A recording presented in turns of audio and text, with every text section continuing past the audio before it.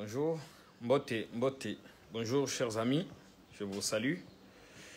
Partout où vous êtes, j'espère que vous allez tous très bien. J'ai tenu la promesse parce que j'avais dit que je vous parlerai. Non, pas que je vous parlerai, qu'on parlera. Parce que ici, il n'y a pas un Magister Dixit. Ici, c'est un compatriote qui se donne la peine d'avoir des infos qui les partage avec vous. Donc, ici, quand je vous parle, ce n'est pas ainsi dit le professeur. On partage. Peut-être que vous, vous avez une partie de la vérité, que vous en savez bien plus que moi. Alors, de ces chocs d'idées, comme on dit toujours, j'ai eu la lumière. Il faut quitter l'époque où on pense que c'est toujours le journaliste qui a raison. Vous également, vous pouvez avoir raison parce que la donne a évolué aujourd'hui. Vous pouvez avoir accès à des infos que moi, je n'ai pas. Je souhaite la bienvenue à tous ceux qui sont déjà là. Je vous salue. Je vous transmets en tout cas depuis Kinshasa mes salutations chaleureuses. Je, suis légèrement souffrant. J'espère qu'il n'y a rien de si alarmant, mais tout va bien. Je suis sous traitement, donc je fais cette vidéo depuis un petit coin de chez moi. J'ai prévu de vous parler, d'échanger avec vous autour de quelques points. Mais la thématique principale de l'émission d'aujourd'hui, c'est le rapport mapping. Le rapport mapping qui a 10 ans aujourd'hui, depuis qu'il a été publié. J'aurai le temps de vous décrire dans quel contexte ce rapport a été mené. Ces enquêtes ont été conduites à la fois par des experts internationaux et des compatriotes congolais ici à Kinshasa et à l'intérieur du pays.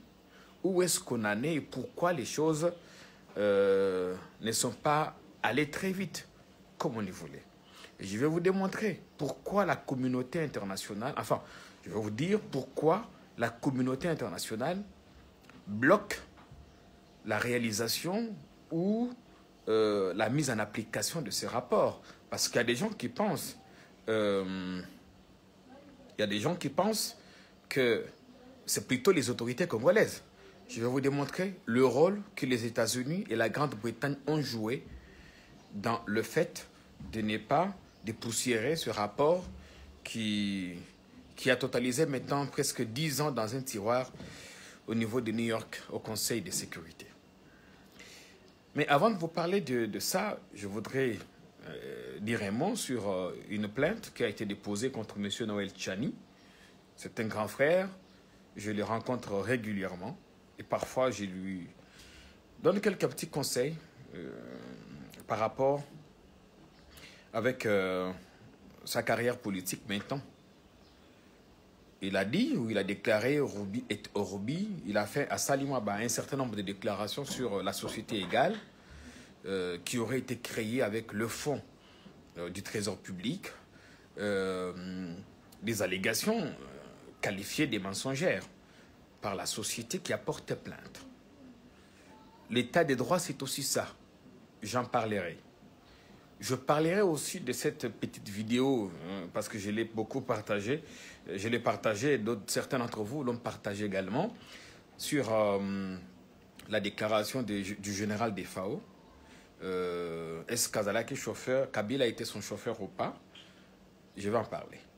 Mais Nazo Banda émission, où il y a deux notes tristes. Deux notes tristes.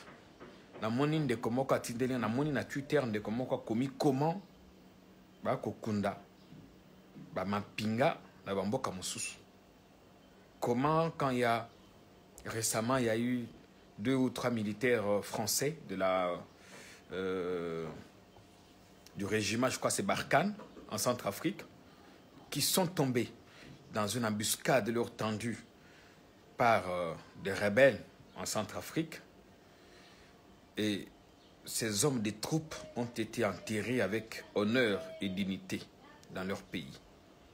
Leurs corps ont été rapatriés à Paris, accueillis par des hauts responsables politiques, mis en terre, décorés après une cérémonie d'hommage. Voilà qui pousse de plus en plus de Français, des Américains, ailleurs, d'intégrer l'armée. Je pleurais quand j'ai vu des images qui ne sont parvenues. Des images qui ne sont parvenues de nos frères, nos hommes des troupes, qui sont morts, paix à leurs âmes, dans des conditions tout aussi atroces dans un crash d'avion. Je voudrais ici, en tant que citoyen, exprimer ma compassion et adresser mes condoléances à leurs familles, exprimer la douleur qui mettra en ce moment quand je parle d'eux, parce qu'on n'est pas nombreux, ils ne sont pas nombreux qui acceptent d'aller faire l'armée. Il y a notamment les pilotes que je connaissais, c'était un frère. Je le connaissais, un brave citoyen, qui ne jurait que sur, euh, par le fait de servir son pays. Il est mort dans des conditions tout aussi atroces. Et je prie que Dieu l'accueille dans son royaume. Je prie que nos pères fondateurs, qui sont au paradis, les accueillent. Mais malheureusement, nous, nous n'avons pas pleurer ses compatriotes. Namoni image wana na mawa. Ndenge bakozwa bango bango na fosse commune. Nayoki mawa nakitisi ma ya miso nalobi non c'est pas vrai. Même si bacor na bango ezalaki calciné je pensais qu'il était important. Ce que j'ai dit n'est pas pour démoraliser les troupes qui sont au front. Non non pas du tout et d'ailleurs au cas où vous l'ignorez moi je suis prêt à faire l'armée j'ai toujours tenté l'armée m'a toujours tenté m'a toujours séduit je dis toujours que si j'ai une bonne occasion d'aller faire l'EFO euh, à Kananga, ou comme on a ouvert l'école de guerre ici, et plusieurs fois, j'ai tenté à faire le chest, ici à côté. J'ai toujours voulu servir mon pays, de n'importe quelle façon, y compris sous le drapeau. Et je me suis dit, ah, c'est comme ça qu'on va me pleurer un jour. Je meurs au front. On m'emballe, on emballe mon cadavre dans un petit sac, on me jette dans une fosse commune loin de mes proches, de mes enfants, de ma femme, de ma famille. J'ai beaucoup pleuré. Je fais couler des larmes. Je fais couler des larmes. J'insiste que ce que j'ai dit n'est pas pour décourager qui que ce soit, parce qu'on nous dit toujours que les matières militaires sont des matières extrêmement sensibles. Je pense que le commandant suprême, Monsieur le Président, euh, Félix Antoine Tshisekedi, euh, mettra en œuvre ce qui est possible. Évidemment, peut-être qu'on a trouvé les corps en état de décomposition, je comprends. Mais je plaide pour qu'il y ait quand même une cérémonie d'hommage. Ici à Kinshasa, en, en l'honneur de ces militaires. Je plaide pour ça. Je plaide qu'il y ait une cérémonie ici à Kinshasa ou dans une grande ville du pays. Ça dépend de là où leurs familles sont logées. Mais pourquoi n'est pas, même si leurs familles sont logées à Bongandanga, chez moi en Demba ou chez mes oncles à Kabeya Kawanga, on peut les, les ramener ici à Kinshasa pour qu'ils participent ou pour qu'elles participent parce que je parle des familles, aux hommages de leurs frères. Et je voudrais que ces combattants, que ces vaillants combattants, ces vaillants défenseurs de la République soient décorés, élevés en grade à titre posthume. Comme on l'a fait pour d'autres, comme on l'a fait pour d'autres, notamment mon ami euh, le colonel Mabadoun Dala Mustafa, comme on l'a fait pour mon vieux, euh, euh, le vieux qui, est mort après avoir été à une réunion en Ouganda, le général Bao Mambamba, comme on l'a fait pour d'autres personnes.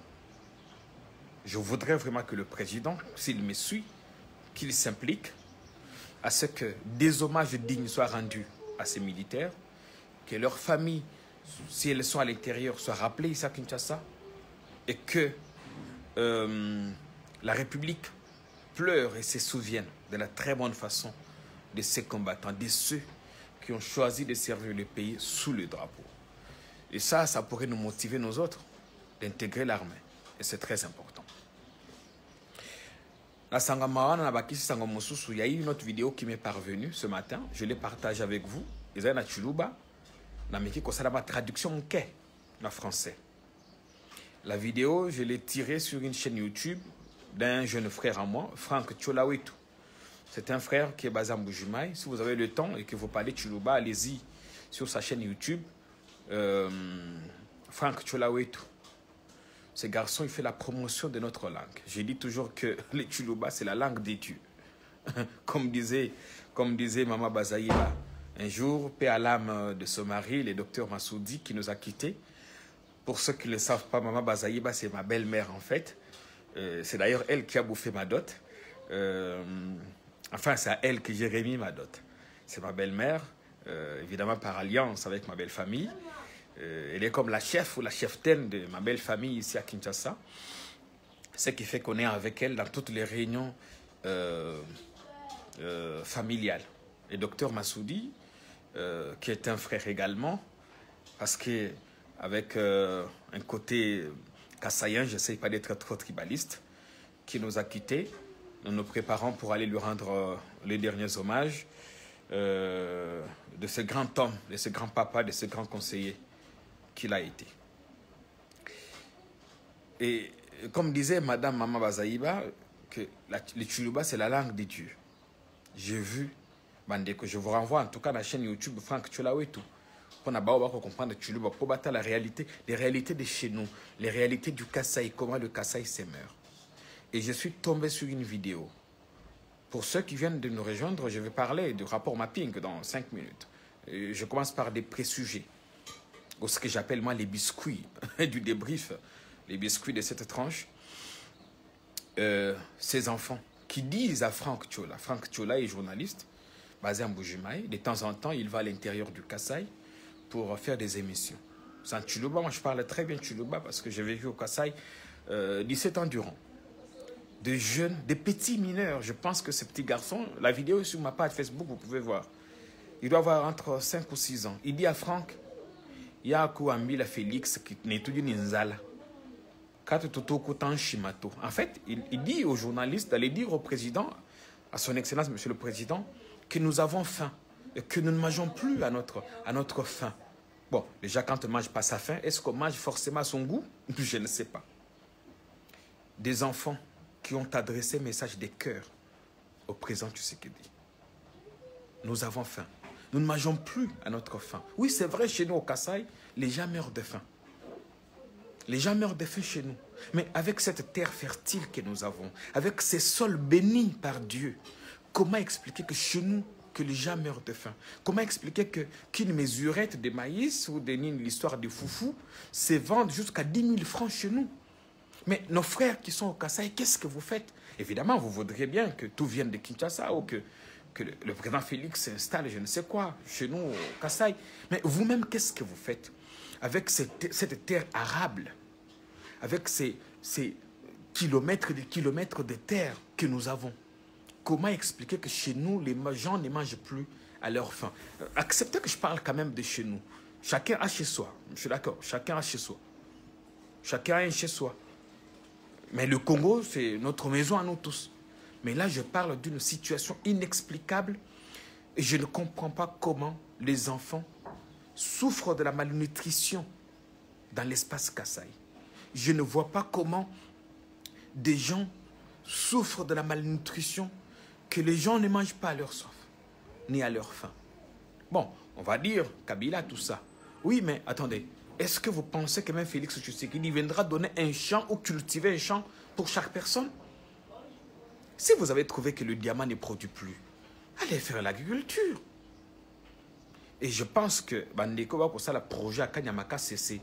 Qu'on a Olomami, bosala mbango mbango ndeko diana na bandeko mosusu général kasongo botinda masango kuna na mbujimai botinda masango na kaba ya kamwanga botinda masango na kananga parce que là les gens meurent de faim et quand j'ai écouté le cri des cœurs de cet enfant j'ai eu mal au cœur mon ami je n'ai aucun problème contre le président j'aime beaucoup monsieur Félix Tshisekedi je les considère beaucoup et ma façon de dire un certain nombre de choses c'est l'aider et dans ce que j'ai dit dans l'histoire Yamasangu, le président, évidemment, en tant que, en garant de la nation, euh, il, il, doit nous garantir la bonne santé, une bonne éducation, nous, nous garantir un bon logement, un travail décent.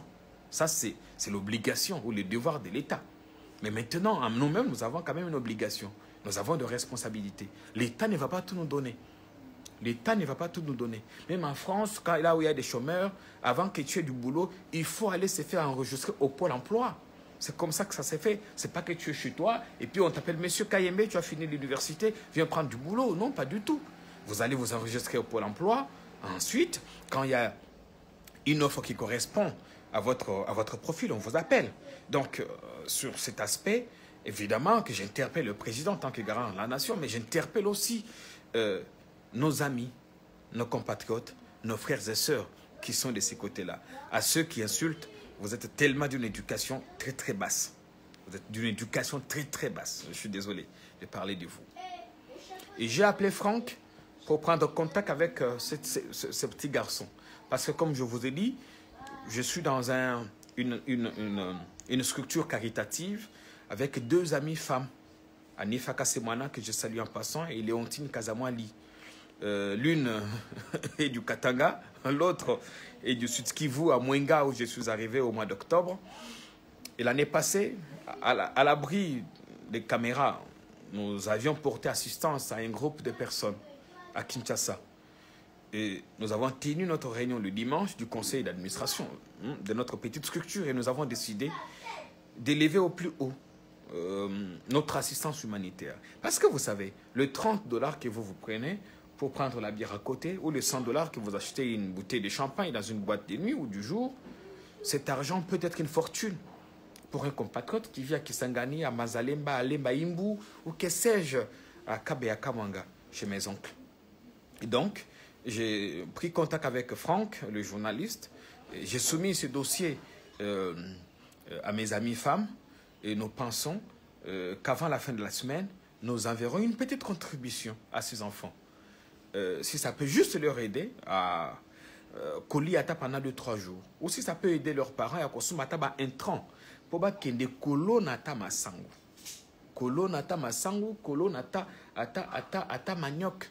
Parce que moi, je, suis, je ressors d'une famille de, de, paysans. Moi, j'ai fait les bilanga.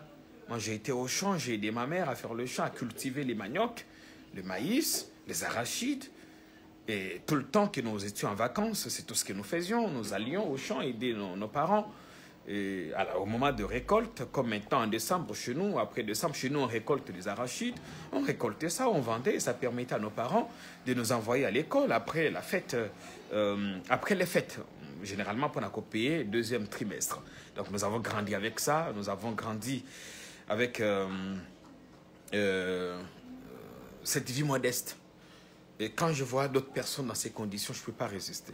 Si vous aussi, vous pensez que nous pouvons parvenir à faire quelque chose. Parce qu'en dehors de ce que nous faisons pour les enfants de Mbujima, nous préparons aussi une action pour les enfants de Béni. Si vous pensez que vous pouvez. En tout cas, ce n'est pas une obligation, ce n'est même pas une demande, c'est une information que je vous passe. Si vous êtes intéressé, vous êtes les bienvenus. Je souhaite m'arrêter là pour ce qui s'est passé au Kassai. Atika Makamuni Balé, les Kambanoël, Chani, un rapport mapping. Je vais en parler. Très important, ne quittez pas. Une plainte, oui, j'ai partagé la vidéo, la photo, les photos, pardon, hier. Il y a document, il y a bah, avocat, il y a société égale. bandeko boyebisa eloko to kobenga état de droit ezali couteau à double tranchant couteau à double tranchant bino bakotala te ke mingimingi ata ngai na maloba nakomi kotia kebakeba mingi mpona koevite okweya euh, okweya na nani?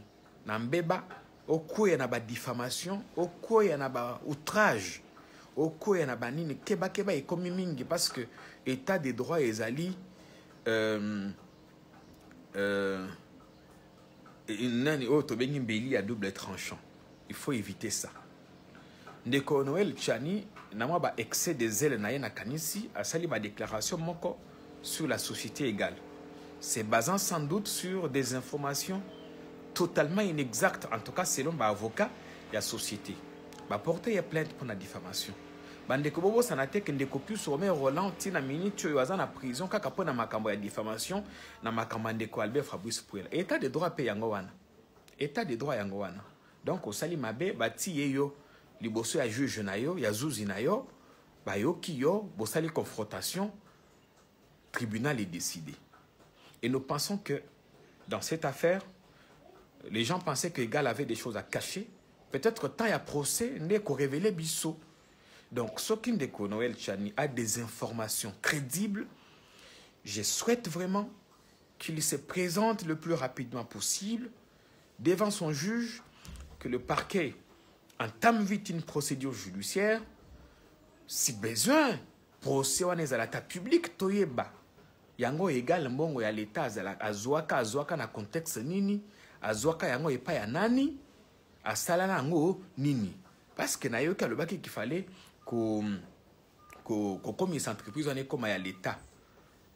Donc euh, je ne souhaite pas m'attarder dessus parce que c'est une affaire en justice mais je pense eza information nakopesa bino ke ndeko noel chani azali na procès na bandeko ya égal mpona badéclaration asalaka et nous pensons que euh, bientôt euh, nous allons assister à ça. En même temps je voudrais aussi vous dire parce que j'ai publié ça sur mon mur que j'ai été contacté par un groupe d'avocats qui se réclament euh, qui veulent redorer l'image ternie de la famille Kabila.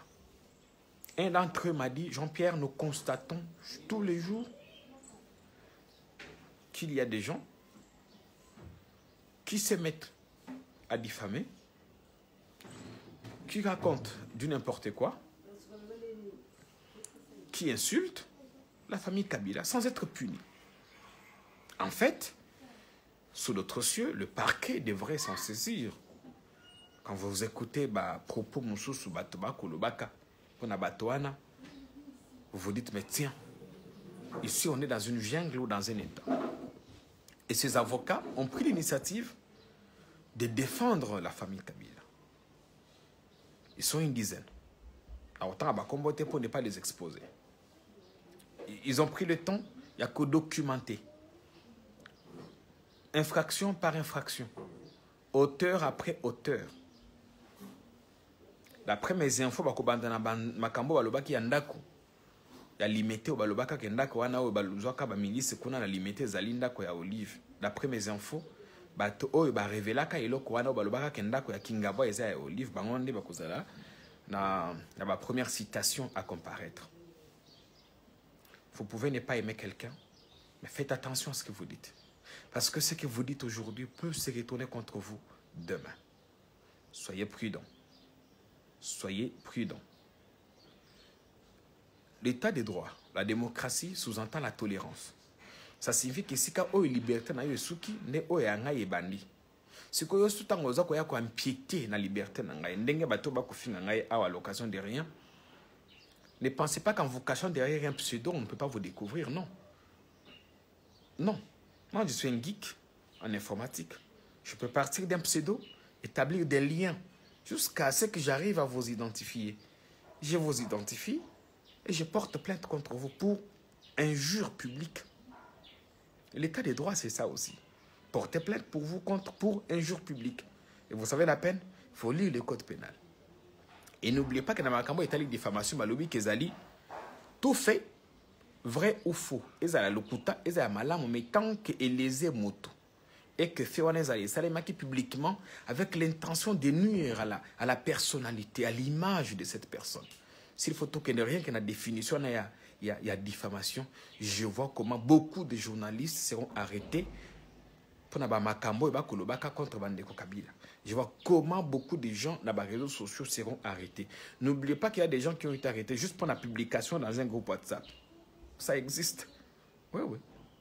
Une publication dans un groupe WhatsApp. nakotela makambo ya rapport mapping mes amis c'est d'ailleurs l'objet de cette vidéo je vous conseille de la partager massivement. Pour ceux qui viennent d'être là je vous rappelle que nous préparons une action sociale pour quelques enfants de Mbujimaï nous préparons une action pour quelques enfants de Mbujimaï qui disent ne plus manger à leur faim. Nous voulons assurer la nourriture à ces gens, à ces enfants, même pendant un mois en leur donnant un sac de maïs, un sac de manioc, tout ça. J'ai évalué le budget avec 500 dollars, on a ce qu'il faut. Pour ces enfants d'abord. À ta 10 dans un premier temps. Ceux qui sont intéressés, mais ce n'est pas une demande d'argent qu'on vous adresse. Si vous voulez, je peux vous mettre en contact avec le journaliste Franck Chola, qui est en Boujimaï, qui fait de temps en temps des émissions là-bas, sur la chaîne Franck Chola sur YouTube ou vous pouvez aller sur la chaîne YouTube, à la balkanisation, là où je produis également du contenu. namoni bandeko na makambo ya euh, rapport mapping même ceux qui n'ont jamais lu, même ceux qui ne savent même pas rapport mapping, c'est quoi? Babandi commenter. Comme dans ce pays, à chaque événement correspond des spécialistes. Tant on a ceux qui ont commis Makamambombero, on est spécialiste à Grand Lac Babimi. Ceux qui ont commis Makamboya exonération, spécialiste en droit fiscal. Bango Babimi. Qui ont commis Makamboya Mabunda Alongwa, Conseil d'État des spécialistes euh, en, droit, en droit administratif Babimi, en droit constitutionnel Babimi. Dans ce pays, on nous a habitués à ça. Il y a même des gens qui n'ont jamais lu une seule page du rapport mapping. Vous vous rendez compte? Mais qui commentent. Mais vous commentez sur base de quoi? Ils n'ont jamais lu une seule page. À ta page de garde, il y a pas un rapport mapping. Ils n'ont jamais lu ça. Le rapport mapping est un document qui contient 581 pages. 581 pages. Moi-même qui vous parle, je ne suis qu'à la 300 300e hmm? page. Non, mais c'est parce que je souhaite prendre tout mon temps. Tout mon temps pour lire et comprendre. Oui, de nos jours, tu peux être couturier, maçon, mais intellectuel. Tu peux lire et comprendre. Mais que, aller jusqu'au-delà. Dans mon il va partager, comme ce n'est pas permis, fake news. Dans des co, des co, travailler dans Mediapart euh, comme on a nakomaki yango lobi Freddy Moulongo bandeko comme je l'avais dit comme je l'avais dit si aux a posa information sur la RDC il y a des sites qu'il faut jamais visiter lokola site ya ndeko Freddy Moulongo enfin eza site na été ndeko a créé page euh, a créé blog le site, il y a Mediapart. Mais les contenus qu'il publie là-bas n'engagent en rien Mediapart. Mediapart, que je sache, est un site français, d'ailleurs parmi les premiers sites d'infos en ligne, qui n'avait pas de journaux papier, ni des radios, ni des télévisions. On appelle ça, en jargon, des pure players. Et Mediapart, pour faire sa promotion, a laissé aux indépendants d'ouvrir des blogs. C'est comme la Belge, Madame Colette Brackman, qui a un blog logé sur le site du journal Le Soir. Les contenus que Colette met sur ce site, sur ces blogs, n'engagent en rien le journal Le Soir. C'est son opinion à elle. Autant pour Freddy Moulongo. Mais qui, malheureusement, a commis spécialiste, il y a mensonge. Spécialiste, il y a trafic. Spécialiste, il y a nyonso, la liste des gens où il y a 400 personnes ou 400 criminels où cité dans le rapport mapping cette liste n'existe que dans sa tête. Le rapport mapping a documenté recensé au moins 200 responsables et non 400 au moins 200 responsables. Leurs noms n'ont jamais été dévoilés. Mais ils existent dans un autre rapport pas dans le rapport public. Les 400 noms cités par euh, monsieur euh, Freddy Moulongo, ce n'est qu'une légende dans sa tête. Et puis, voyez comment il décrit ces gens. Si vous avez le temps, Boluka quand même, Boluka blog, euh, Freddy Moulongo ou Mediapart Freddy Moulongo, la façon dont il a commis la info, vous allez comprendre que euh, la, le sérieux, la crédibilité n'y est pas. Bon, c'est du type des combattants. Hein? Euh, du type des combattants, comme Bande Kebile, ça la combat na poto. Bon, je sais pas ce qu'ils ont combat au moyen de survivre. Vous comprenez. Mais il faut que je vous parle de la genèse du rapport mapping, parce qu'il faut que les gens comprennent. Le rapport mapping, tout commence d'abord avec la première guerre du Congo. Disons, le génocide rwandais en 94. En 94, deux groupes ethniques s'affrontent au Rwanda, les Hutus et les Tutsis. N'est-ce pas s'il y a 3-4 mois, au moins 800 000 personnes sont tuées, exécutées de manière sommaire? Les Interamoués, qui étaient cités notamment comme appartenant à la milice qui tuait les gens au Rwanda. Et beaucoup de Hutus vont se déverser au Congo. Évidemment, sur base d'une demande pressante de la communauté internationale qui a fait pression sur le régime de Mobutu d'accueillir ces rebelles. Enfin, euh, c'est déplacé. Ces gens ont traversé en cascade dans notre pays. Ils sont entrés par le Kivu, au sud et nord. Et la plupart avaient des armes. Ceux qui ont traversé, avec leurs armes, ont commencé à attaquer les Tutsis restaient au pouvoir à Kigali. Parce que juste après, il y a eu le, colonel ou le général euh, Paul Kagame qui a pris le pouvoir, après ce qui s'est passé avec euh, Abiyarimana, et ainsi de suite. ils ont commencé à attaquer à la fois ceux qui étaient à Kigali ou les Tutsis congolais qu'ils ont trouvés ici.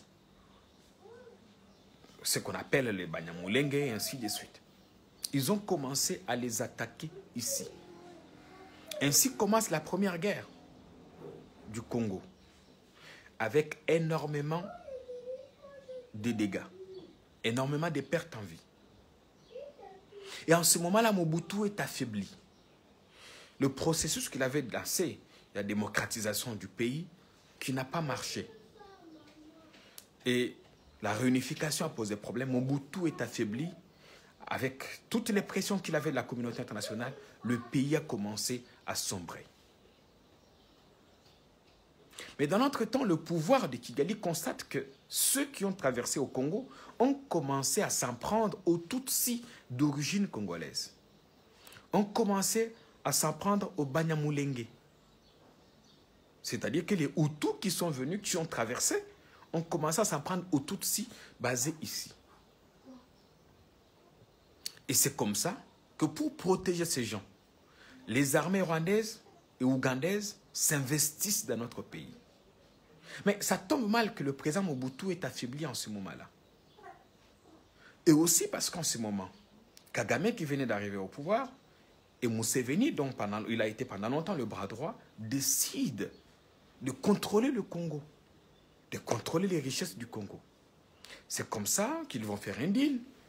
Euh, évidemment, euh, plus tard avec euh, Mosé Laurent Désiré Kabila, ils vont les soutenir militairement. Mais tous nous savons comment la guerre de la FDL s'est déroulée. Nous savons que la guerre de la FDL n'a pas fait assez de victimes. Même si on sait qu'à chaque toute guerre, il y a toujours des dégâts collatéraux. Parce que les villes tombaient les unes après les autres. Les gens étaient fatigués euh, du régime dictatorial, du régime euh, des règnes sans partage du général Mobutu. Les villes, il y a même des villes entières où il n'y a jamais eu de combat. Les troupes de la FDL sont entrées comme ici à Kinshasa. Sans mort. Mais en même temps que les troupes de la FDL avançaient, les troupes rwandaises et ougandaises continuaient à s'en prendre quand même à déplacer les déplacés rwandais qui étaient au Congo, on a recensé quand même un certain nombre de, un certain nombre de, de, victimes, énormément de victimes. On parle jusqu'à 200 000, 200 000 victimes. Des ressortissants rwandais, des déplacés rwandais qui avaient trouvé refuge ici. Et ça, c'était en violation de ce qu'on appelle le droit humanitaire international. Parce qu'on ne peut pas, par exemple, s'en prendre à un camp de réfugiés. Mais quand ces pays de la région, parce que d'une certaine façon, le Burundi avait aussi adhéré à ça, soutiennent Mosé Laurent Désiré Kabila et que Kabila arrive au pouvoir en 97, il dit à ceux qui l'ont soutenu, donnez-moi la facture, nous payons.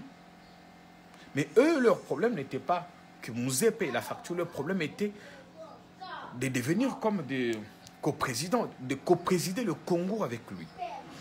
Parce que leur ambition était de contrôler les ressources minières du Congo. Comment imaginer qu'aujourd'hui le Rwanda est devenu premier exportateur du cobalt, du cuivre, et qu'il a même une usine de, de, de, de, transformation de ces matières précieuses, alors que le Rwanda n'a ni cobalt ni cuivre sur son sol? Vous comprenez ça? Et quand Mosé Laurent Désiré Kabila demande la facture à ces gens, qu'ils décident, qu'ils décident de se séparer du Rwandais, vous connaissez ce qui s'est passé. Il se retourne contre lui. Il se retourne contre lui. Ainsi commence la deuxième guerre du Congo en 98. En 98, si vous voulez. Deuxième guerre du Congo avec à la tête le RCD, le Rassemblement congolais pour la démocratie. Soutenu par qui? Les mêmes. Le Rwanda, le Burundi et dans une certaine mesure, le Burundi. Les armées de ce pays investissent encore une fois notre pays. Vous vous souviendrez de la guerre de Kisangani avec énormément de morts. Et ceux qui lisent savent que la Cour internationale de justice avait condamné l'Ouganda à payer euh, des amendes, à payer, à, payer des victimes euh, de la guerre de Kisangani. Il y a eu des morts. Et dans le cadre de AFDL, la rébellion s'est disséquée. C'est comme pardon, qu'est-ce que j'ai dit, des RCD. C'est comme ça qu'il y a eu RCD KML avec Mboussa de son côté. C'est comme ça qu'il y a eu RCDN avec Roger Lumbala qui contrôlait notamment Kisangani. C'est notamment pour ça que notre compatriote Roger se retrouve en ce moment euh, en détention euh, euh, à Paris. La deuxième guerre du Congo a énormément coûté à la République. Énormément. Il y a eu beaucoup de morts. Beaucoup. Avec les interventions de ces trois pays de la région, le Rwanda, le Burundi et l'Ouganda. Et ce n'est pas pour rien que quand on parle du rapport mapping, au Rwanda, on tremble. Quand on parle du rapport mapping, en Ouganda, on tremble. Parce que chacun connaît le rôle qu'il a joué. Chaque pays connaît. Véritablement, le rapport mapping, euh, évidemment, certains Congolais peuvent y être cités, mais très souvent, ce sont les armées des pays étrangers. C'est ça la vérité. En premier lieu, l'armée rwandaise, l'armée ougandaise, l'armée burundaise. Mais face à cette invasion, il y a eu d'autres armées, à l'appel de Mosée Laurent Désiré Kabila, qui sont venus sauver son pouvoir. Comme Jean-Pierre Bemba a tenté de secourir euh, Ange Félix Patassé en République centrafricaine. On a eu l'Angola, la Namibie, le Tchad, ces pays de la SADC qui sont venus. Ça signifie que, en 98, en 98, cette armée de sept pays étrangers se sont affrontés sur notre territoire. Mais quand vous lisez le rapport mapping, le Tchad euh, n'est pas pas très cité avec beaucoup de précision, mais les pays principaux qui sont cités, qui se sont rendus coupables dans leurs armées, se sont rendus coupables de plusieurs atrocités. Ce sont les pays de la sous-région des Grands Lacs que j'ai cités, le Rwanda, le Burundi et l'Ouganda. Un peu l'Angola, et aussi la Namibie. Ensuite vient toutes les négociations qu'il y a eu, les accords euh, de Lusaka, les accords de Johannesburg, et finalement euh, le dialogue intercongolais qui met tous les belligérants autour d'une table. À partir de 2001, quand Joseph Kabila accède au pouvoir qui, jusqu'à on est autour de 2003, le compromis va être trouvé, un gouvernement de transition va être mis en place.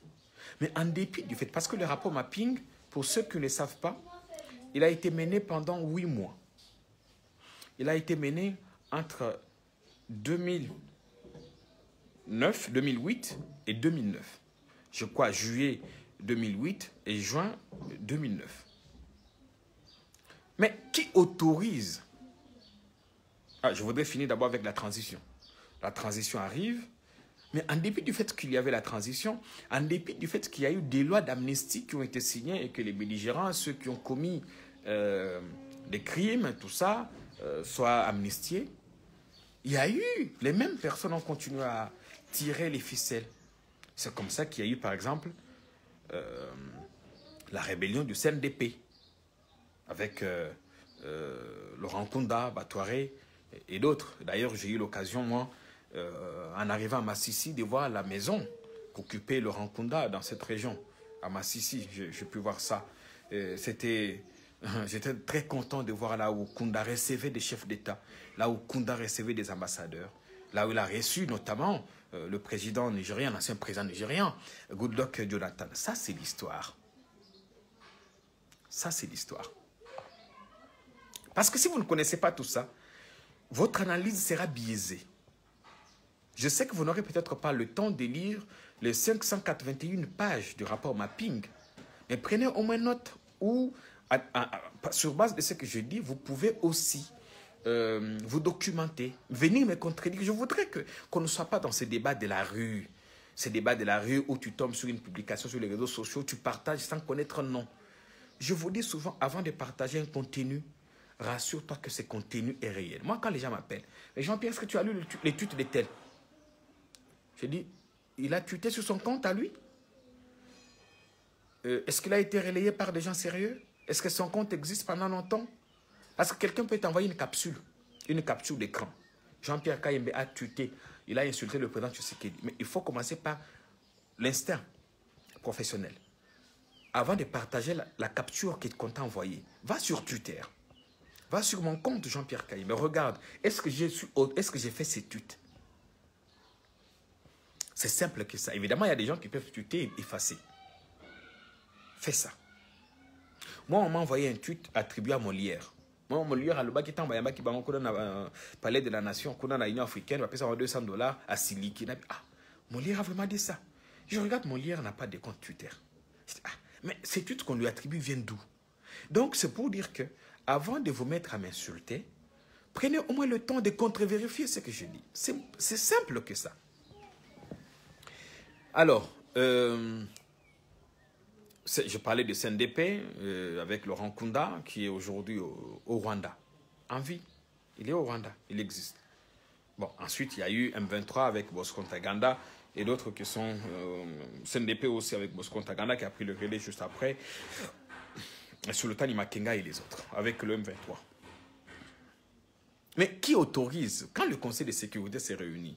Parce que l'affaire a aussi commencé autour de 2005, quand l'ONU la MONUC de l'époque découvre deux fausses communes au Kivu. On s'est dit, mais tiens, il y a eu euh, beaucoup de victimes dans la guerre du Congo. Il faut qu'il y ait une commission d'enquête indépendante. Le Conseil de sécurité s'est réuni. Intéresse le gouvernement de l'époque. C'est M. Joseph Kabila qui autorise le rapport mapping, qui autorise que ces enquêtes soient menées sur le territoire congolais. S'il n'avait pas autorisé, les enquêteurs de l'ONU ne seraient pas venus. C'est lui qui autorise, qui donne le cutus, parce qu'en ce moment-là, en 2007, il le reçoit à son bureau. Euh, d'abord, il, a partagé, il a beaucoup échangé avec Kofi Annan, qui était secrétaire général des de, Nations Unies à l'époque. Il a partagé avec une dame qui était représentante euh, du, haut, représentant du Conseil de, enfin, de Nations Unies aux droits de l'homme. Et c'est comme ça qu'en 2007, quand il accorde que ces enquêtes soient menées. En 2008, les, enquêteurs arrivent. Il y a eu 30, 33 enquêteurs. Dans les 33, il y a eu des enquêteurs internationaux et d'autres sont des enquêteurs locaux. Euh, des enquêteurs locaux, excusez-moi, les courants qui étaient partis et revenus. Euh, des enquêteurs locaux qui ont travaillé avec euh, les émissaires de l'ONU. Et ce rapport n'a pas été fait sans l'aide du gouvernement congolais. Des autorités politiques, des autorités judiciaires, euh, des autorités militaires ont participé à ces enquêtes, contrairement à ce que vous, vous pensez. Et quand cette enquête est publiée pour la première fois, en 2009, il est accueilli favorablement par les autorités du Congo, qui ont promis d'ailleurs de tout mettre en œuvre pour que qu'il n'y ait pas d'impunité. Et ça tombe au moment où Luzolo venait d'être nommé, euh, violent de tolérance zéro, et ainsi de suite. Les autorités du Congo ont salué le rapport des titans, effectué pendant 7 à 8 mois par les enquêteurs, qui ont fait le tour du Congo, qui ont documenté on parle de jusqu'à 612 incidents qui ont été documentés. Dans ces 612, certains incidents sont susceptibles, en tout cas, d'être euh, euh, traduits en crimes de guerre, crimes contre l'humanité. Et les enquêteurs, contrairement à d'autres enquêtes qui chargent les présumés euh, coupables, les enquêteurs se sont à limiter à dire ce que nous vous proposons est un travail. Mais nous ne sommes pas juges. Ces gens ici cités sont, jusqu'à preuve du contraire, innocents. Donc, il faudrait qu'ils soient déférés devant leur juge naturel. Ça peut être des juges congolais ou des juges au niveau international. Tout va dépendre de l'ampleur euh, des crimes commis par les uns et les autres. Et c'est comme ça que l'idée, par exemple, de créer le tribunal pénal sur le Congo est arrivée à l'image du tribunal pénal d'Arusha, à l'image euh, du tribunal pénal, par exemple, pour euh, euh, ah, ces pays, c'est encore quoi le, nom m'échappe. Donc, les autorités congolaises ont souscrit à l'idée, n'est-ce je te salue, vous êtes nombreux. Myriam Kayumba, je te salue aussi, ont souscrit à cette idée et ont toujours voulu à ce que, le problème, que, cette affaire, qu'il n'y ait pas d'impunité dans ces dossiers. Mais en 2010, parce que les enquêtes, les, premières 581 pages que vous voyez, c'était la partie préliminaire. Il y a une partie secondaire qui n'a pas été amorcée parce que quand on a publié la première partie de cette enquête, des États de la région se sont sentis secoués parce que les enquêteurs demandaient. Il y a des noms qui ne figurent pas. Vous verrez sur euh, les rapports qui sont en ligne, il n'y a pas de noms. On n'a pas repris les noms de quiconque. Mais au niveau de l'ONU, il y a des noms. Et je vous dis, il ne s'agit pas de 500, 400 euh, personnes comme Freddy Moulong vous l'a dit. Il s'agit plus ou moins de 200 personnes. Et dans ces 200, il y a des hauts gradés militaires. Ici au Congo, il y a des hauts gradés militaires, des politiques, au Rwanda, au Burundi et en Angola. Et c'est pas pour rien, je vous disais que chaque fois qu'on évoque le rapport mapping, le Rwanda s'enflamme. Vous savez, récemment, quand Mukwege a demandé que l'on divulgue les noms de tous ceux qui sont impliqués dans ce rapport, il a reçu des menaces, notamment du général Kabarebe et d'autres personnes. Donc, en fait, le rapport, le mapping, fait plus mal aux pays de la région qu'à ceux qui sont ici. Mais monsieur, je reconnais qu'à une certaine échelle, parce que nous avons eu aussi des frères congolais dans ces rébellions. Le cas du compatriote Roger Lumbala. Le cas d'autres compatriotes qui ont été dans certaines rébellions, évidemment. Qui ont été dans certaines rébellions, qui se sont rendus coupables d'un certain nombre d'exactions. De, Mais c'est plus des pays étrangers qui ont soutenu des rébellions locales euh, qui sont le plus visés. Et quand la première partie de l'enquête est rendue publique, les États-Unis et la Grande-Bretagne s'enflamment parce qu'ils sont considérés comme étant les protecteurs du régime de Kigali. Et c'est comme ça que si ces, qu'est-ce qu'on dit, ce rapport mapping n'a jamais été dépoussiéré, c'est pas parce qu'ici à Kinshasa, on ne voulait pas le dépoussiérer. On ne voulait pas. Mais est-ce que le Congo avait le pouvoir de poursuivre, par exemple, des hauts, des hauts dignitaires, des hauts placés rwandais? Est-ce que le Congo avait les capacités logistiques, matérielles et des coercitions de poursuivre, par exemple, des hauts responsables burundais, poursuivre le président Museveni? Le Congo n'en avait pas la capacité. Donc il fallait qu'il y ait une initiative au niveau de la communauté internationale.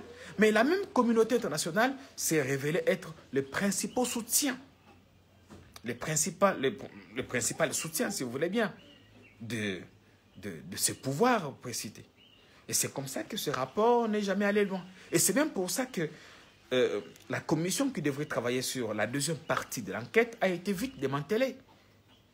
La première partie, le premier mois, on a eu jusqu'à 2 millions, quelque chose de, de, dollars qui avaient été déboursés pour ces enquêtes. Mais la deuxième partie, l'argent n'est jamais venu. Le travail s'est arrêté. En fait, le travail du rapport mapping n'est jamais allé jusqu'au bout. C'est un travail inachevé. Il n'est jamais allé jusqu'au bout. Donc, ceux qui vous donnent des noms, ces noms n'ont jamais fuité. Ces noms n'ont jamais fuité. Mais ils existent. Je n'ai pas la prétention de dire que j'en sais quelque chose, non. Ils existent. Mais les noms qu'on vous a publiés, qu'on vous a cités, ou qui ont été publiés par euh, Freddy Moulongo, ça c'est une invention, une euh, affabulation. Ça c'est une, euh, j'appelle ça, euh, je ne sais pas comment il est arrivé à prendre tous ces noms-là. Je ne sais pas comment il est. Je crois qu'il a pris beaucoup de temps pour faire ça. Mais si vous lisez comment lui il fait, vous vous rendrez compte que c'est quelqu'un en, qui il faut donner très peu de crédit euh, quand vous, l'écoutez. Donc aujourd'hui, ce sont les Occidentaux qui ont bloqué le rapport mapping parce que eux, ils sont concernés. Parce qu'ils pensent que s'ils disent, euh, si aujourd'hui des dirigeants rwandais ou burundais ou que sais-je, ougandais sont devant la justice, ils diront d'où est-ce qu'ils tiraient, qui étaient les véritables tireurs de ficelles. En fait, quand nous avons la guerre d'agression qu'il y a, ou toutes les guerres d'agression que nous avons connues ici, ce n'est pas forcément ces pays. Ils ne sont qu'utilisés, ce ne sont que des instruments qui sont utilisés. Il y a très généralement des multinationales qui sont derrière, qui financent, et même certains États qui veulent voir le pays, le Congo, déstabilisé. Et aujourd'hui, euh, quand on évoque le rapport mapping, je ne sais pas comment c'est ça, par exemple, le président Tshisekedi, lui qui a des très bons rapports avec, avec le Rwanda, parce que euh, euh, le Rwanda, il a quand même une grande responsabilité. Il a quand même une très très grande responsabilité dans tout ce qui est arrivé, la déstabilisation du Congo. Il est cité dans plusieurs rapports, le Rwanda. L'Ouganda, n'en parlons pas d'une certaine mesure, dans une certaine mesure, le Burundi. Et puis, s'il faut encore euh, élargir Nini, on a Tokokoma, Tibakota, Angola, Tokokoma, Namibie, na Tchad, parce que ces pays sont intervenus également dans notre pays en ce moment-là. Quelle responsabilité, par exemple, Namoni Batangi comme la Kamere? Quelle responsabilité Kamere? Pourquoi est-ce qu'il doit être cité dans le rapport mapping? Entre 1993 et 2003, Kamere faisait quoi? Mais quand je dis qu'il y a une partie du rapport euh, qui tarde encore parce que le rapport a finalement été présenté au Conseil de sécurité en 2010. Mais autour de 2010, avant 2010, vous savez que nous avons eu notre rébellion avec euh, le CNDP. Après 2010, autour de 2012-2013, nous avons connu le M23. Donc, il faut que ce rapport aille jusqu'au bout. Il faut qu'il y ait encore des enquêteurs qui travaillent. Comme ça, on nous, four- on nous aura au moins fourni un rapport complet sur la situation. Et je voudrais encore vous rappeler que les autorités congolaises de l'époque ont travaillé. Vous ne savez peut-être pas pourquoi Kabila n'a pas de bons rapports avec Kagame. Vous ne savez peut-être pas. Mais c'est parce qu'en 2007, il a autorisé que les enquêteurs de l'ONU viennent mener ces enquêtes sur notre territoire. Entre 1993 et 2003, on a documenté au moins 400 000 de nos compatriotes qui sont morts. Voilà Tosukina 2003. Mais ce que l'on a en 2003, au mati tout le temps, nous avons la guerre à CNDP, au Kominatan la guerre à M23, combien de nos compatriotes on a perdu? Et ceux qui disent que nous sommes jusqu'à 8 millions de morts, ils ne se trompent pas. Mais le génocide rwandais n'a fait que 800 000, 800 000 morts. Vous comprenez? Et au nom de ça, le Rwanda qui continue à se présenter comme étant victime aux yeux euh, de la communauté internationale, a continué à jouir euh, d'une certaine protection que nous, n'avons pas. Ce qui fait que nos morts à nous sont occultés. Et moi, je ne serais pas contre qu'on puisse dépoussiérer ce rapport, que des responsables soient poursuivis. Oui. Que des responsables soient poursuivis, qu'ils répondent de leurs actes, de cette euh, torture, de ces atrocités qu'ils ont infligées pendant des années aux Congolais. Parce qu'aujourd'hui, le sang des Congolais crie vengeance. Le sang des Congolais crie vengeance. Et les mêmes euh, acteurs de la communauté internationale qui ont protégé les acteurs clés impliqués dans ce rapport sont toujours les mêmes aujourd'hui, qui reviennent à la charge.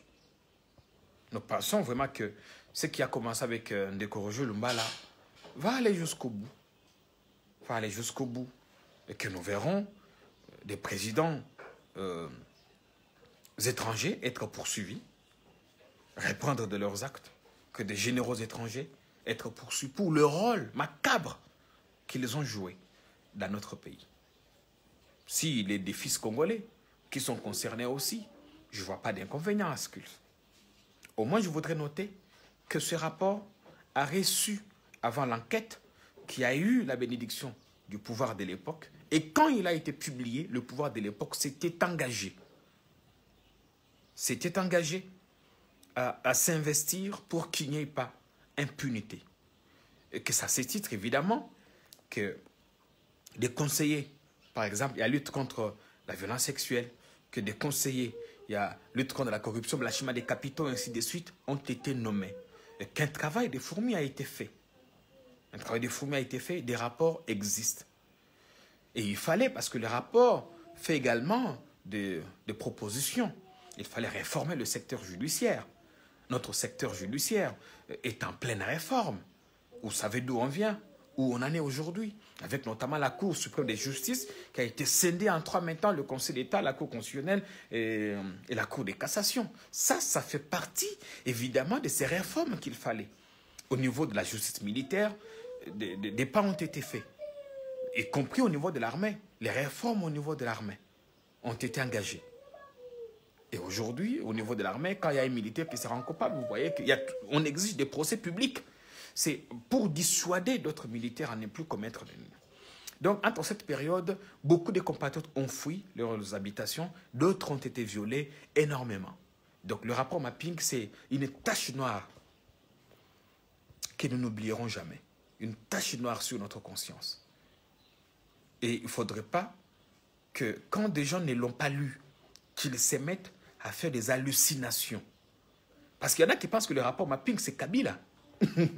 Il y en a qui pensent que non, parce que quand on parle rapport mapping, donc c'est Kabila qui est là. Non, c'est Kabila qui a demandé que les enquêteurs, qui a autorisé que les enquêteurs viennent chez nous. Et quand le rapport a été publié, Kabila été au courant des noms des personnes citées dans ça. Il a dit, il saluait le travail fait par les enquêteurs. Parce qu'il cherchait la fin de l'impunité, la restauration de l'autorité de l'État. Tant que cela n'aura pas été fait, la sécurité au Kivu va toujours poser problème. Je pense que c'est ce que j'avais à vous dire à propos de ce rapport. Si vous voulez le lire en intégralité, il est sur Google. Mais si vous voulez voir des noms, vous ne les verrez pas parce qu'ils n'existent pas. Vous ne les verrez pas. Mais évidemment, on parle de certains groupes. On désigne certains groupes. Par exemple, la Rwandan Defense Force, l'armée rwandaise, les UPDF, euh, euh, l'armée ougandaise, la force, euh, les forces armées burundaises. On désigne l'Angola, la Namibie. On désigne l'armée parce que d'une certaine façon, notre armée aussi s'est rendue coupable de certaines exactions. D'une certaine façon. Tout comme l'armée de Mobutu à l'époque, à l'entrée de la FDL, l'armée de Mobutu a pillé, l'armée de Mobutu a violé. C'est dans le rapport. Donc si vous cherchez des noms que Jean-Pierre Caille me figure dans ce rapport, vous allez passer mille ans à le chercher, vous ne le verrez pas. Mais des noms existent, ils sont consignés quelque part. On ne veut pas les publier pour ne pas mettre euh, en difficulté à la fois euh, les personnes citées elles-mêmes ou encore d'éventuels témoins qui existent. Et le rapport préconise la formation d'un tribunal euh, pénal sur la RDC. Ce tribunal qui aura le pouvoir, par exemple, il y a, il y a CPI, ou comme ce qu'on a connu à Arusha, ou ce qu'on a connu en Sierra Leone et qui va pouvoir poursuivre des personnes euh, dans notre pays et avoir beaucoup de, beaucoup de pouvoir. Bandeko totangaka.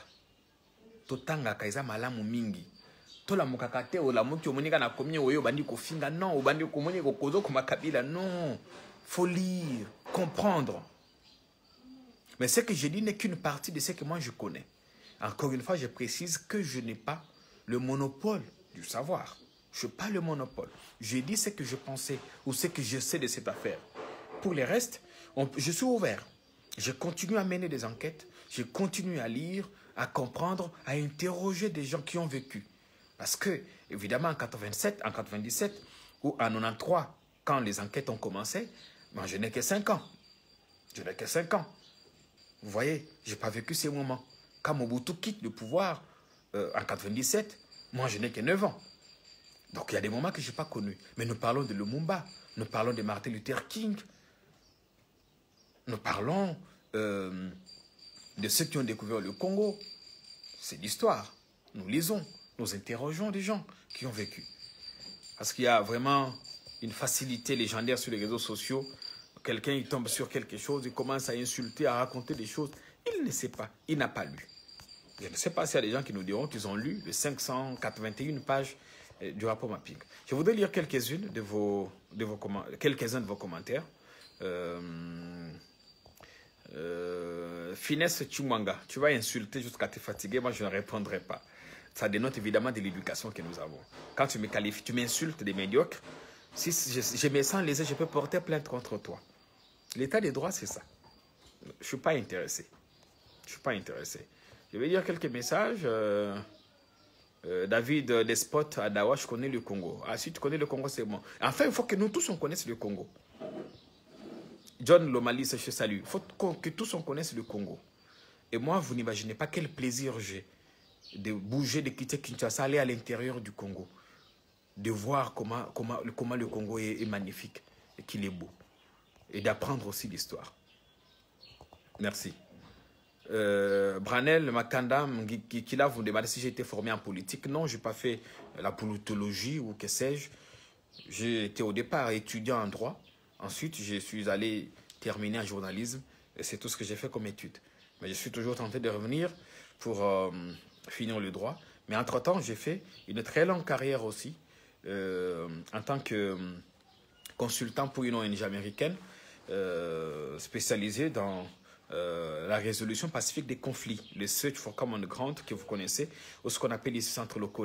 Et ce projet, entre 2012 et 2015, m'a permis de voyager au Rwanda, au Burundi, en Ouganda, euh, dans une certaine région, dans plusieurs régions du Congo pour produire les émissions sur la paix. C'est peut-être ma petite expérience que, que, je garde très jalousement.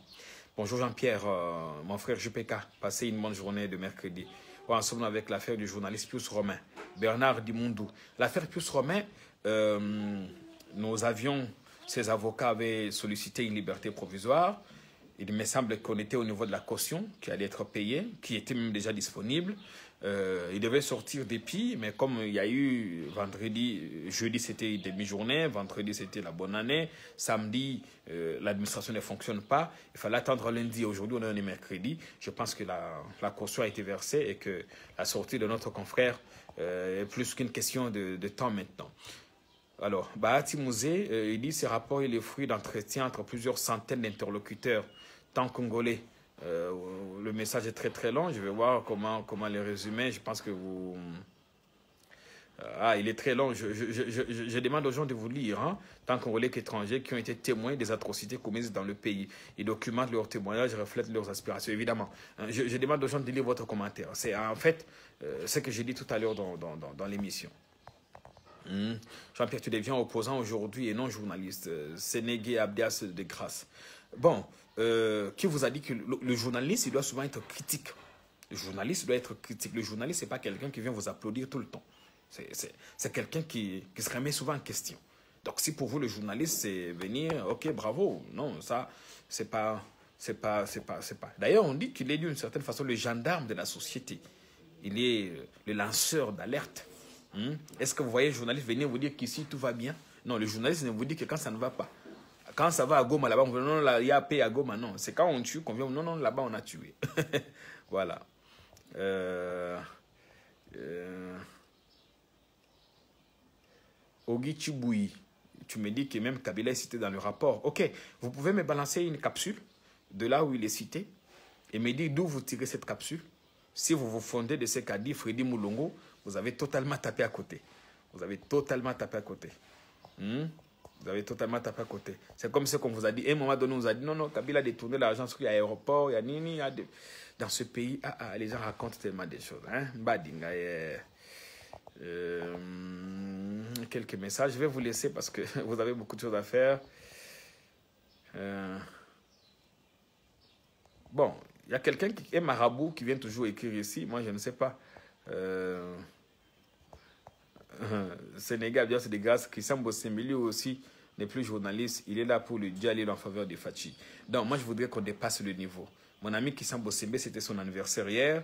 Je l'ai appelé pour lui présenter mes voeux euh, de santé et de prospérité. Qu'on évolue. Hein? qu'on évolue. Chacun fait ce qu'il fait. Euh, mon combat ou ma vision n'est pas calquée sur ce qu'il lui fait, ou je ne fais pas le contraire de ce qu'il fait. Si vous lisez bien mon analyse sur le rapport mapping, vous comprendrez que j'ai été rationnel pour avoir pris le temps de me documenter et de comprendre le vrai problème. Blaise euh, Chabani, en direct depuis Goma, je te salue Blaise. je te salue vraiment, merci. si je n'ai pas, si je racontais des contre-vérités, Blaise, vous avez le temps de m'écrire même en privé ou ici pour me dire ce qui n'a pas marché. Euh, bonjour et bonjour, je vous présente le gars Maître, Maître Marabout. Euh, pourquoi vous venez me faire ici? Yo, Soza Marabout, quand on a mis comme ça, pas ne venez pas faire la promotion. Hmm, maître, ne venez pas faire la promotion ici. Euh, sinon, je risque de vous bloquer. Voilà. Daniel Kakesa, Kakesa. Merci pour ton message d'encouragement. Il y a des gens qui comprennent comme, comme, comme vous. Euh, voilà. Ndeko yako comme biloko marabout. Euh, Léon Galéance, vous avez raison, nous n'avons aucune considération pour nos morts, surtout pour nos militaires. Ça, c'est triste. Oui, euh, à ce sujet, j'ai interpellé le président si on peut organiser une cérémonie d'hommage à nos militaires euh, et d'ailleurs, s'il y a une prochaine euh, campagne de recrutement au sein des forces armées, moi, je vais faire l'armée. Ça, je vous le dis. Je vais faire l'armée. Je voudrais devenir officier militaire. Parce que je sens cette envie pressante de servir le pays. Je vais faire l'armée. Pas la politique. Pas être candidat député, non. L'armée. Là-bas où je ne reçois les ordres des personnes. Sauf de ma hiérarchie. Il fallait demander à celui que tu soutiens pendant 18 ans. Je ne comprends pas. Toshongo, le message bonjour, bonsoir, vous n'avez pas besoin de publication. Moi, je suis au, euh, Mali, rien ne marche. Bon, quand vous faites ça. Serge Moujinga qui demandait si j'ai un problème avec le président, pas du tout. Pas du tout. D'ailleurs, je suis en très bon terme avec la plupart de son entourage. Hmm. Voilà. Je vous laisse. Euh, pour l'instant, c'est lui que tu... Euh, euh, voilà. je vous aime beaucoup. Je vous aime. Euh, pour ceux qui me suivent, j'atterris par là. Pour ceux qui me suivent à la radio RTGA, chaque lundi, mardi, lundi, mercredi, vendredi, je voudrais vous rappeler que nous étions en vacances, en congé. Nous reprenons nos productions le jeudi avec Madame Irène Moussouné qui sera à l'antenne. Moi, je vous retrouverai le vendredi. Nous ferons une émission, cette fois-là, sans co-débatteur. Nous serons nous tous présentateurs et nous répondrons à vos questions et nous vous dirons comment nous comptons faire les choses cette année. À l'occasion, nous vous balancerons aussi certaines de nos meilleures émissions de l'année et vous en jugerez vous-même. Ce sera une sorte de bilan que nous allons faire. Ensuite, euh, nous verrons comment commencer la nouvelle année. Donc, moi, mes nouvelles émissions à la RTGA, si tout va bien, je les commencerai euh, la, semaine prochaine, si nous sommes en vie. Mais le vendredi à 15h30, je serai à l'antenne pour parler avec vous, parce que ça fait longtemps, on n'a plus parlé, on n'a plus parlé. Je vais parler avec vous, répondre à vos questions. Euh, nous serons tous l'ensemble des équipes, hein, l'équipe euh, des présentateurs, avec moi-même, l'initiateur de l'émission. Vous nous direz ce que vous nous reprochez, nous vous dirons ce que nous vous reprochons aussi, comment il faut pour que ce partenariat euh, se consolide afin que l'on fasse les choses autrement. Pour le reste, je vous souhaite à tous et à chacun une bonne journée. Aimons notre pays. Nous n'avons que ce Congo. Comme je vous l'ai dit, Kabila passera, tu sais qu'il passera, Lumumba et Kassavubo sont passés. Nous, nous passerons, mais le Congo restera. Dans quelles conditions restera-t-il? Nous avons l'obligation patriotique de le défendre contre tous. Et surtout, de le laisser dans ses frontières de, 3 de 2 435 310 km comme le président Tshisekedi le dit toujours, que personne ne vous intimide. moi, je vous dis aussi que personne ne vous intimide non plus. À bientôt. C'était votre serviteur Jean-Pierre. Mon numéro est là sur ma page. Vous pouvez de temps en temps venir pour qu'on discute. Moi, j'aime des discussions ouvertes. J'aime ça, mais pas des insultes. Merci.